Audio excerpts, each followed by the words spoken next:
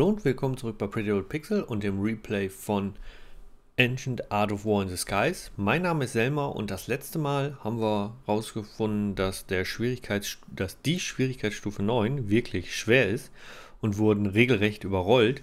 Nicht nur mit Anzahl der Einheiten, sondern auch wie gut die KI kämpfen konnte. Das ähm, versuchen wir jetzt mal zu ändern, weil wir sind jetzt in der äh, nächsten Schlacht, in der zweiten.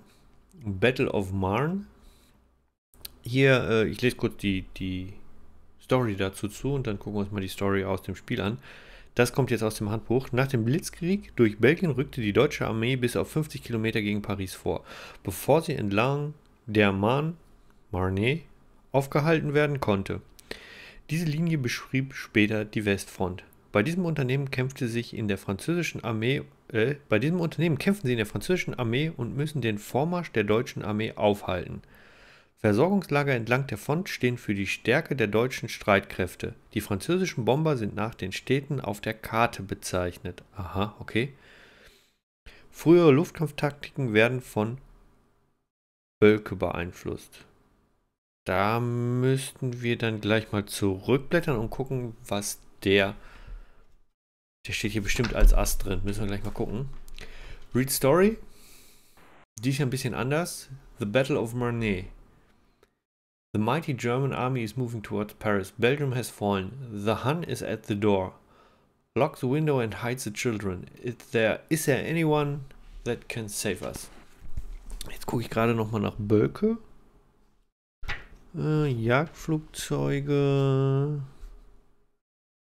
Geschichtlicher Abriss des Ersten Weltkriegs. Das ist auch sehr interessant. Ich hatte da als, als Anfang mal, als Vorbereitung mal reingelesen. Bölke. Bölke beschützt sein Territorium mit einer undurchdringlichen Verteidigung und greift ihr Geschwader an, sobald sie sichtbar werden. Im Angriff haben seine Bomber eine tödliche Genauigkeit, die nur von Richthofen übertroffen wird. Der hat doch nie Bomber geflogen. Wahrscheinlich sind hier Jäger gemeint. Wenn sie gegen Bölke fliegen, können sie sich darauf verlassen, dass gegnerische Geschwader zusammenarbeiten. Er setzt im Gegensatz zum Einzelgängertum auf das Fliegen in enger Formation. Er lehrt seinen Jasta-Piloten im Kampf zusammenzuhalten und dass es nicht darauf ankäme, wer den Treffer erzielen würde, solange das Geschwader siegreich blieb. Wenn sie auf ihn herabfliegen, können sie erwarten, dass er sich her herumwenden wird, um ihnen frontal zu begegnen, als ihnen auszuweichen. Also, okay. Schauen wir mal. So, Rules. Ach, steht hier ja. Kaiser Wilhelm II. und Bölke. Äh, das mit den Gegnern auch sehr merkwürdig. Okay, wir sind grün. Den Gegner sehen wir immer. Ähm, Your Factories build Fighter often, build Bomber often, Enemy Aircraft Range ist short, unsere ist auch short. Achso, das ist gut. Beginn. Schauen wir da mal rein. Was? Can vegetables, fruit and the Kaiser too? Mhm.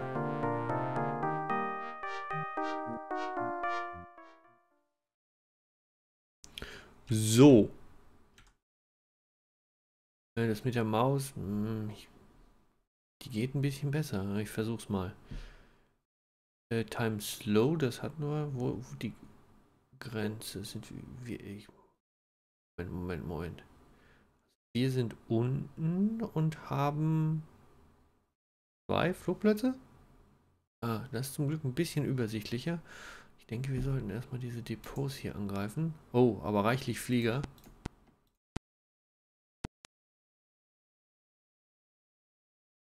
Cruising Speed, Conserve Fuel, ne. Äh, cautious, Defensive, Single Attack, Destroy Target. Sollte ja relativ zügig gehen. Jetzt lassen wir die gleich erstmal starten. Dann nehmen wir unsere Bomber hier.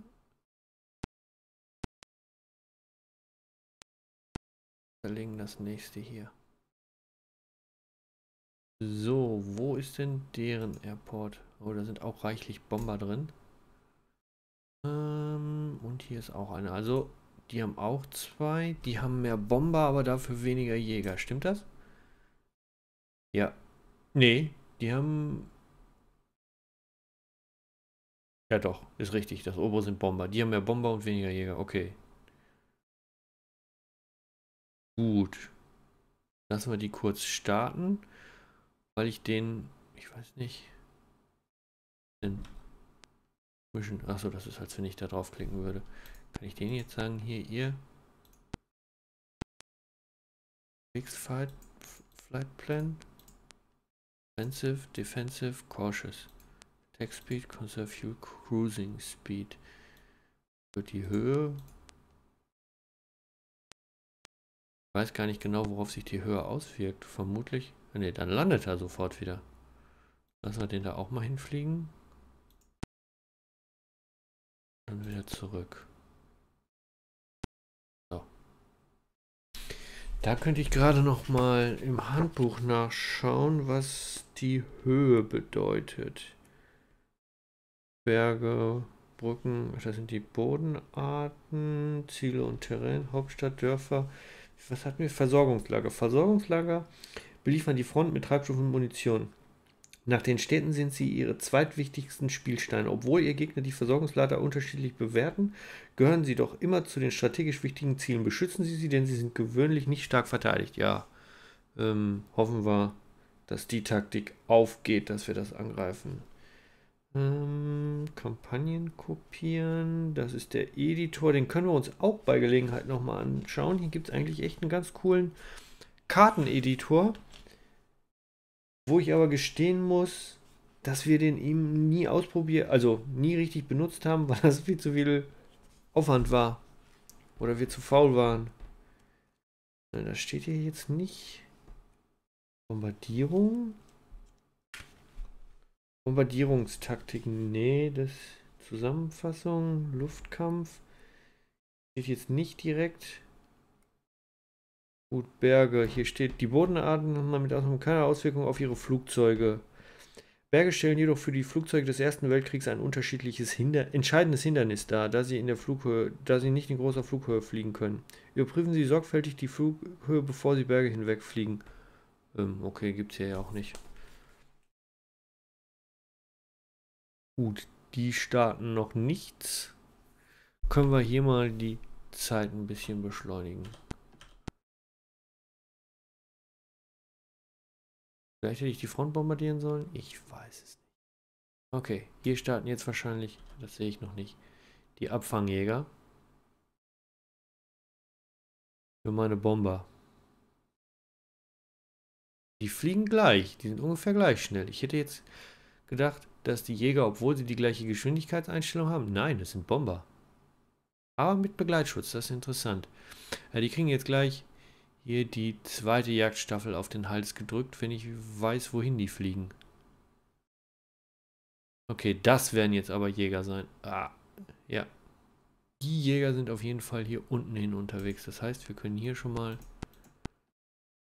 Äh, weiß auch hier.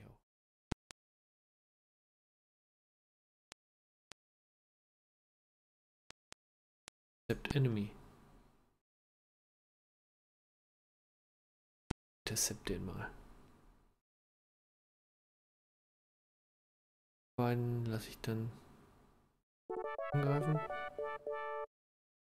Bomber Breeze was delivered. Okay, dann haben wir schon mal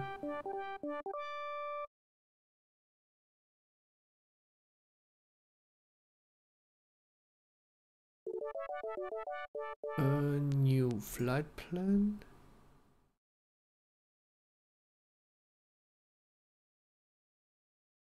Und ihr zwei.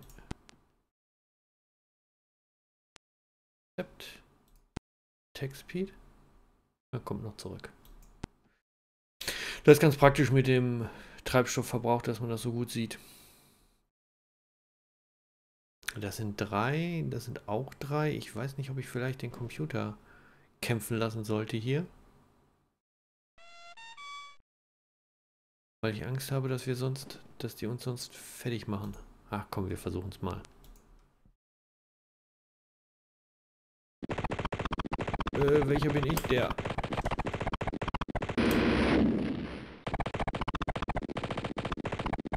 Das sieht schon mal nicht gut aus.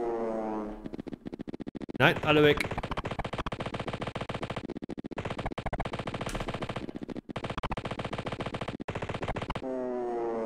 Okay, das war's. Alle abgeschossen und wir haben, wie man hier links sieht, ein bisschen Schaden gemacht. Ich weiß nicht, ob das besser gewesen wäre, hätten wir gar nichts gemacht. Das probieren wir jetzt aus beim nächsten Mal. Ja, die fliegen jetzt aber zurück. Abgefangen haben wir sie auf jeden Fall, haben nur beträchtliche Verluste erlitten. Okay. Änder das. Greift den an. Okay, die Bomber fliegen jetzt wieder zurück.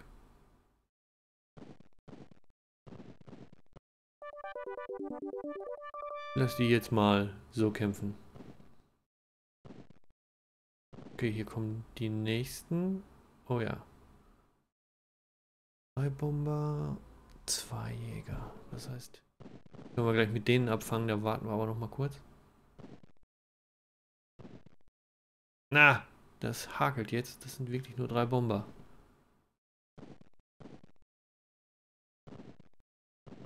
Hm. Eigentlich müssten die anderen da ja jetzt auch angekommen sein. Schauen wir mal. Jetzt wird hier gekämpft. Okay. So wie es aussieht, hat der eine Bomber, haben die beiden Bomber zwei Jäger abgeschossen.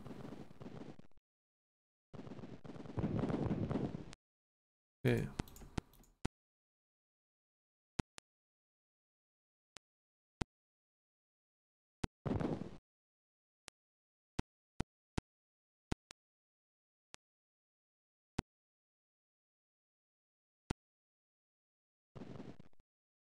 Das habe ich irgendwie reichlich unterschätzt, muss ich ehrlich sagen. Die sind ja richtig super. Da kann man ja fast gar nichts mehr gegen machen. Ich weiß nicht, ob... Naja. Gut, zwei Bomber, zwei Jäger abgeschossen und ein Bomber dabei draufgegangen. Hm. Ja, auf jeden Fall erhebliche Verluste erlitten. Das hat diesmal anstandlos geklappt. das heißt, die hier kann ich die noch mit denen abfangen? Jo. Fangen die mal noch ab. Ja, ich, das ging halt früher in Wirklichkeit nicht. Also, da gab es ja, ich glaube im Ersten Weltkrieg gab es da überhaupt Funk. Ich glaube nicht. Die waren einfach in der Luft, war in der Luft. Ich mache jetzt hier mal, das wird mir irgendwie ein bisschen eng alles. Dann Single Attack, Destroy Target, wir bombardieren jetzt mal hier die Front.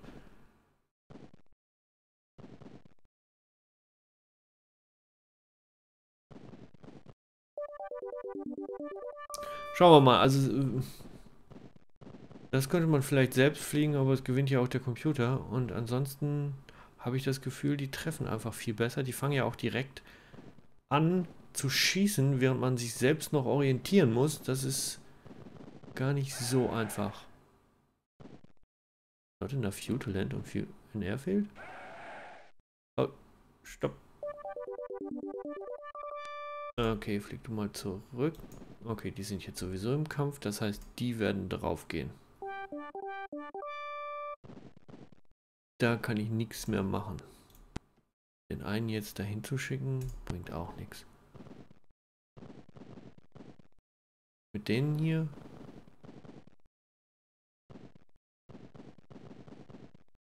Schauen wir mal. Okay, da haben wir gewonnen.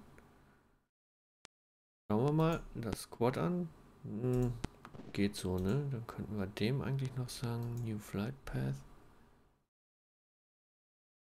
Ja, der kommt nachher nicht mehr zurück, egal. Fliegt zurück. Keine Jäger mehr. Die sind jetzt zum größten Teil also hops gegangen, das heißt, da hätte ich noch eine Staffel auch Angst, da die Bomber hinzuschicken. Was denn hier mit der Front? Kommen die nächsten? Die Front bombardieren, das sieht auch nicht gut aus. Oh. Schauen wir mal. Also Time Slow, das können wir ein bisschen schneller machen. Ja, die haben gewonnen. jetzt wieder zurück. Fliegen auch zurück. Hier die... Ach so, hm, okay, der ist kaputt. Wie lange dauert das, bis der repariert wird? Gibt keine Piloten mehr, nur noch Bomber. Den können wir ja nochmal Tacke fliegen.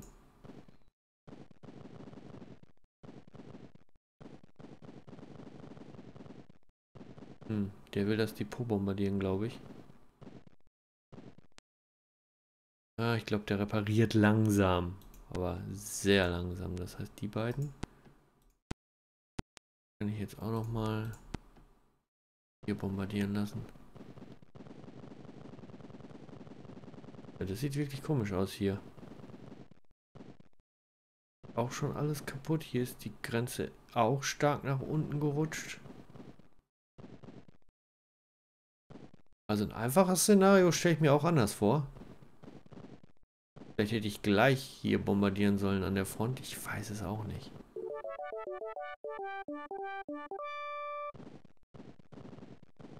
What defeated the interior?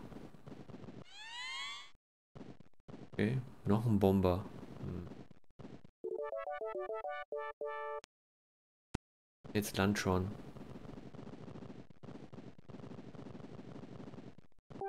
So. Du, du, du. Enemy Attack Speed. Den. So, hier habe ich nur zwei. Wenn ich die den Bomber angreifen lasse, gehen die drauf. Das bringt also nichts. Bombardiert hier irgendwie eine City.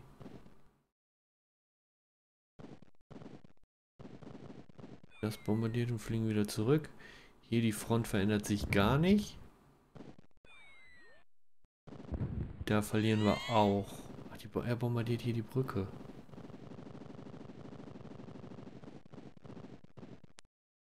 Ja, nützt nichts, die angreifen zu lassen.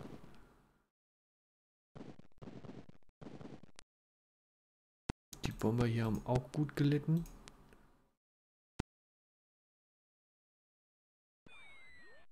Weiter bombardieren. Jetzt auch noch mal weiter bombardieren. Äh, hier. Wieder Jäger an. Gut, davon habe ich ja eh keine mehr. Also, die beiden noch. Die werden ja garantiert drauf gehen. Gegen drei feindliche Jäger. Die KI ist echt ziemlich stark im Luftkampf. Daran kann ich mich auf jeden Fall erinnern. Das war früher auch so. Kann ich hier mal die Bomberverteidigung ausprobieren? Das hat ja letztes Mal schon fast besser geklappt wie der Luftkampf.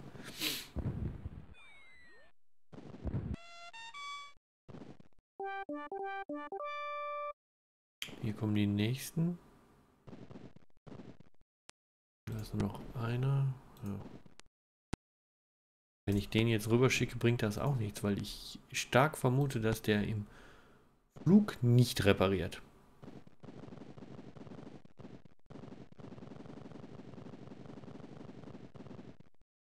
Macht er hier jetzt? Wartet auf den Bomber?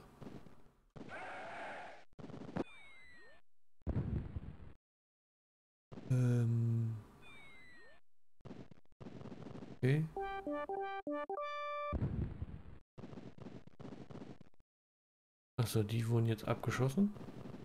Vermutlich. Habe ich jetzt auch bombardiert, hat festgestellt, dass es nichts bringt. Und fliegt jetzt wieder zurück. Dreht der jetzt nochmal bei? Nein, aber der wird jetzt den Flughafen bombardieren, richtig?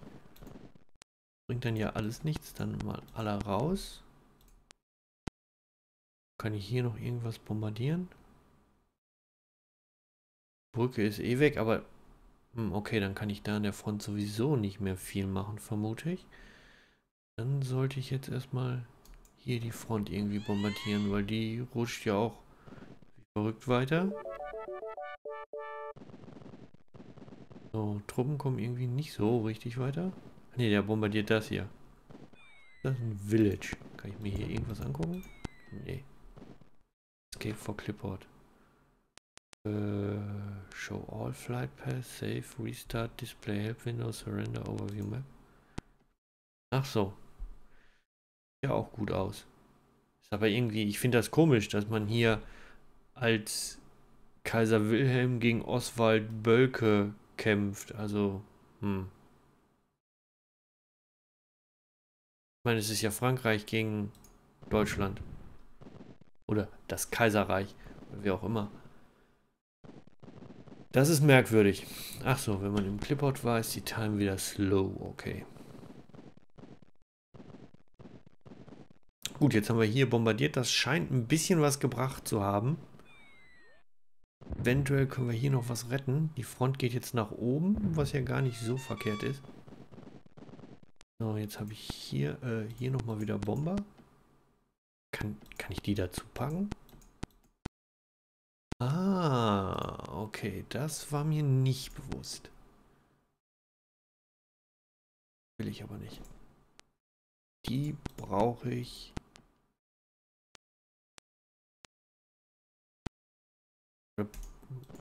Information vielleicht doch was? Ich hätte jetzt gedacht, das bringt alles nichts, aber machen wir mal defensiv. Decept Enemy. Den. Bei den, die beiden. Ups. Bomber nochmal. Bei Target und greifen hier noch mehr an. Hier hat die Front ja immerhin schon mal ein bisschen bewegt. Wie viele sind das? Zwei Bomber und ein Jäger. Also es gibt auch immer nur die gleichen. Also es, die Bomber sehen ja auch äh, relativ gleich aus. Also es gibt keine unterschiedlichen Jäger, unterschiedliche Bomber. Das ist irgendwie immer alles das gleiche. Ja, jetzt müssen die hier irgendwie selber klarkommen. Mit Bombern, ich hätte Bomber dazu packen können. Ich weiß nicht, ob die dann gleichzeitig kämpfen können. Ich glaube nicht. Wird das noch angegriffen? Dann hoffentlich das hier noch ein bisschen. Hier kommen die nächsten Bomber. Die müssten wir dann mal hier abfangen. Die Kollegen sind auch wieder zurück. Und der scheint reparierter zu sein. Decept Enemy machen wir hier Offensive. Cautious eben defensiv gelesen. Dann machen wir hier trotzdem offensiv. Vielleicht muss ich gleich auch mal im Handbuch lesen, was der Vorteil ist von meinem Spieler Kaiser Wilhelm ist das ja jetzt in diesem Fall. Okay, da haben wir gewonnen. Äh, einer hat überlebt, okay. Aber wir haben gewonnen, das ist ja auch schon mal gut. Hier wird es grün, geht es ein bisschen weiter. Das heißt als nächstes werde ich mit den dreien... Hallo. Immer als Begleitschutz mit. Der bringt eh nicht so viel. Destroy Target. Hier bombardieren. Hier sind gerade eh keine Bomber da. Er fliegt zurück. Na gut, er hat jetzt natürlich den Nachteil, dass er den weiten Weg hat.